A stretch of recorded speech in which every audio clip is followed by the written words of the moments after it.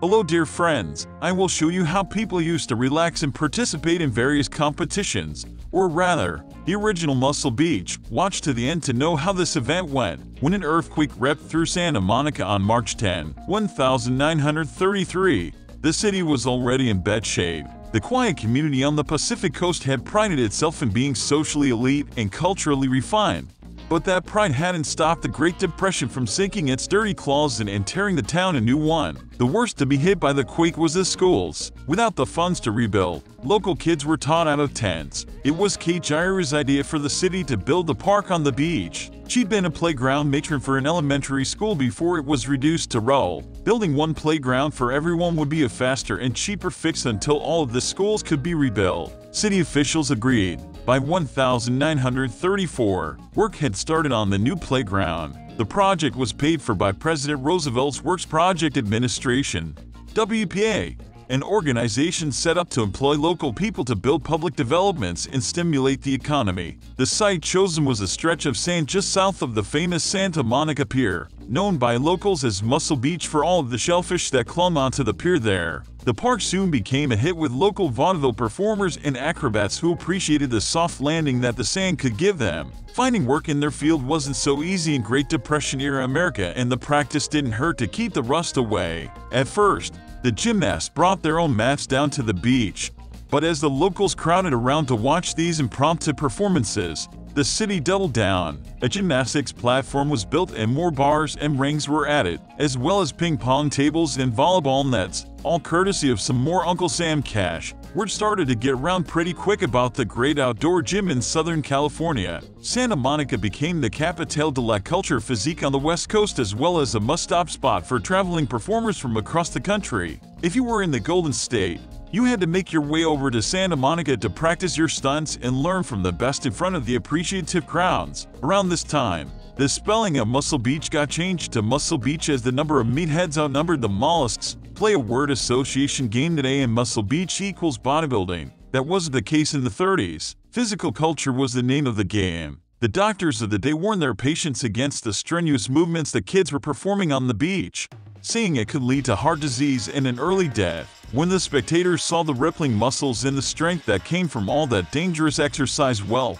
we all know who had it right. The early 1940s saw things quiet down on the beach. Uncle Sam didn't take the equipment in his scrap metal, but he almost might as well have. The people were too busy fighting the Japanese to be swinged from rings. Barbells were traded in for rifles and the only bicep that was flexed was in the middle of a military salute. Post-war America saw a sizable migration from east to west, and the Easterners brought their barbells with them. Weightlifting for size and strength had been more. Maps across the country started to print the words Muscle Beach in larger type than Santa Monica, much to the embarrassment of city officials. The emphasis was still on gymnastics and acrobatics, but the weightlifting was definitely a contender for public attention, especially once the weight platform was built. The devoted few had been towing their own barbells and dumbbells to the beach since the 1930s.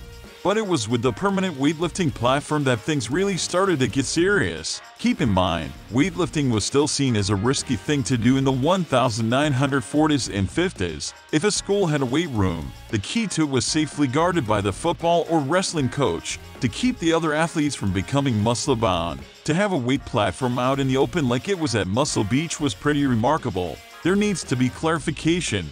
Muscle Beach refers to the exclusive Santa Monica location of the birthplace of the physical fitness boom in the United States during the 20th century. Started in 1934 with predominantly gymnastics activities on the south side of the Santa Monica Pier. Muscle Beach, Venice was officially titled in 1987 by the city of Los Angeles with the distinguishing name Venice added to the location to honor the original Santa Monica site. The contemporary Muscle Beach, Venice is located two blocks north of Venice Boulevard on Oceanfront Walk in Venice, California.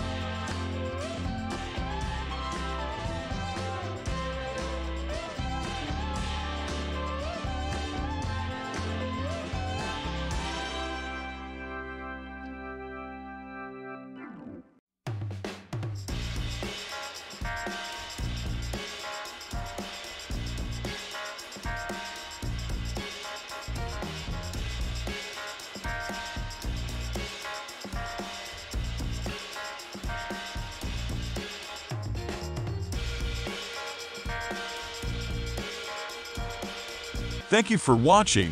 Put like so that I would continue to look for exclusive rare photos. You can also look at other interesting videos on my channel.